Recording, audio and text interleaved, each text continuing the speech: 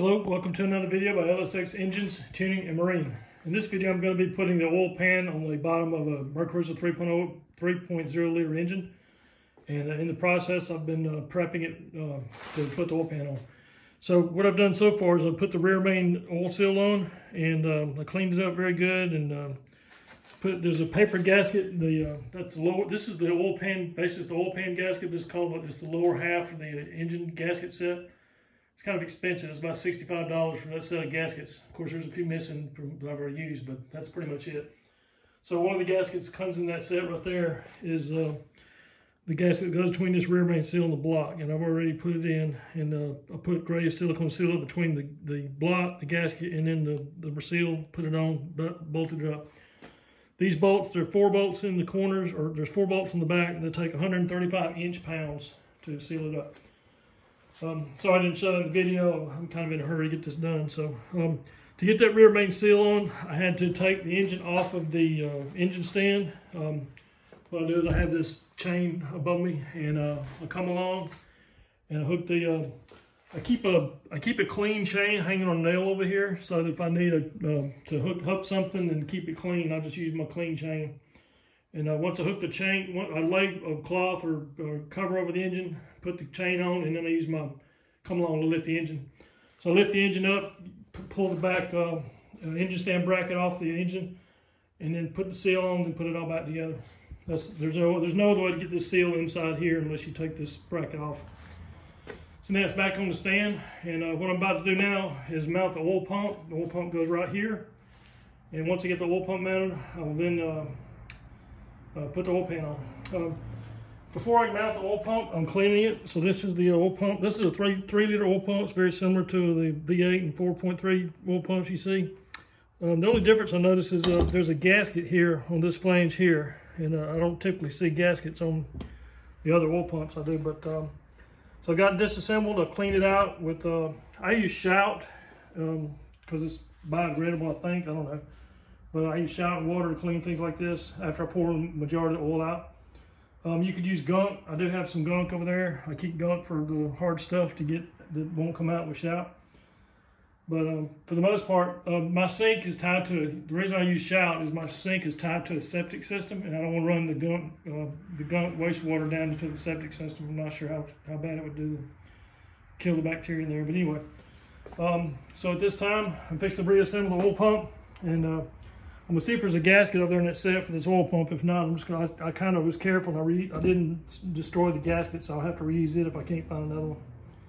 But it's it's under it's in oil, submerged in the oil pan, so I don't know why you need a gasket in the first place. But they put one on there, so I'll put it back in. So the gears are over there. I'll blow dry them. There's the cover. Got to clean it out first, and then uh, I'll put it all back together and uh, mount it on the engine. One additional point about the oil pump. So um, apparently there was a gasket in the uh, there was a gasket in the uh, gasket set that I bought. So I will change it out since it's may never get see the light of day again. Um, and uh, let me show you. So this is the cover, and you see there's a little bit of wear pattern on the cover there, and that's fine. Um, a lot of times when you put things back together, if you're not sure about how they go back together, look at the wear pattern. The wear pattern will tell you where how it was. For example, here's the gears. this gear here is obvious. It, it, goes back in, the shaft goes down the hole. This is the drive gear or the driven gear. It's driven by the distributor shaft and it goes in in the oil pan oil pump first. Um, the other gear is not so obvious, so um, this is the idler gear, they call it. And what you can do is look at the wear pattern on it and try to see the, the shiny sides where it's been touched by other gear. And um, you can tell from from this gear by looking at it that it's been rotating. Let's see which side. This camera's kind of hard to see it. Um, there it is. So it's been rotating this way towards me because the shiny side's right there. The dull side's back here. So this shiny side has been rotating like this. So you can look at the other gear and see the mating, the mating side would also be shiny and that's how you can tell how it went in. So I'm about to put this oil pump back together and once it's uh, put together, I'll bolt it onto the engine. I've now torqued the uh, or installed the oil pan on the block and I torqued each one of these bolts to 120 inch pounds. And I used a blue Loctite on the threads so they won't back out.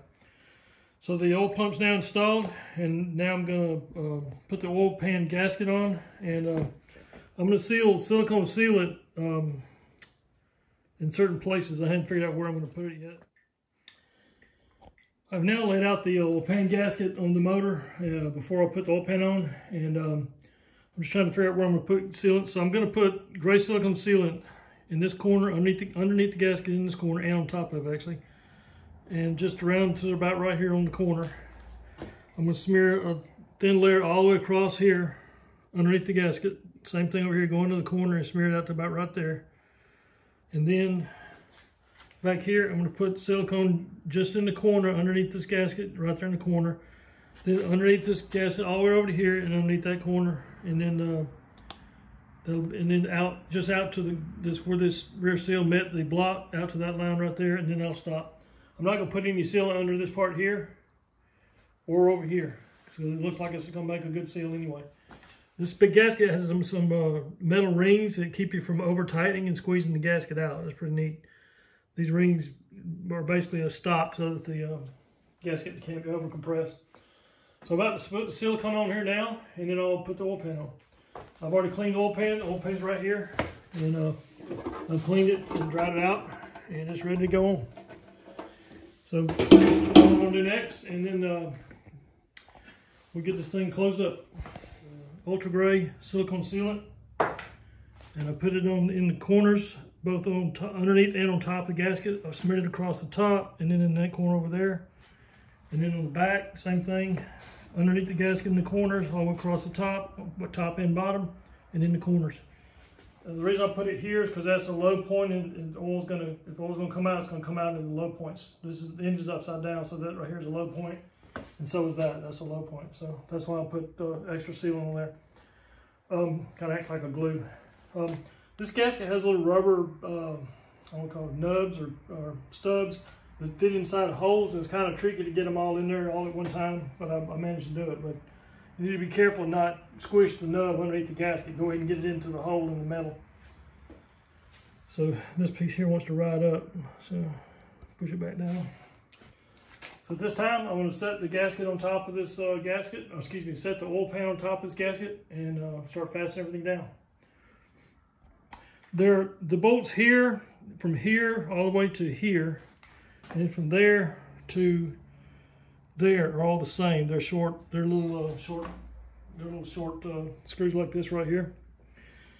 The ones in the corners here and here are longer because they have to go through the, a thicker part of the oil pan. And then of course you got nuts that go on this, there's a stud here and a stud there and that gets a nut and then an extra, a larger bolt that goes here and right there. And I will be putting blue Loctite on all the all the screws that hold this oil pan. All right, the oil pan is now installed and uh, I've torqued all the uh, screws down. So this bolt I uh, torqued down to 135, no, let's see, 80 inch pounds on this one, 45 inch pounds on that one, 15 inch pounds all the way across to here, and then 135 inch pounds on that one. 135 inch pounds there, 15 all the way across here, 80 here, and 45 there. So the oil pan is now installed and um, I'm gonna flip it over and start installing the cylinder head. So this wraps up the video for the uh, oil pan installation on a Mercruiser 3.0 liter engine. If you found this video beneficial or enjoyed the video, please subscribe to my channel. I appreciate it very much. Thanks for watching.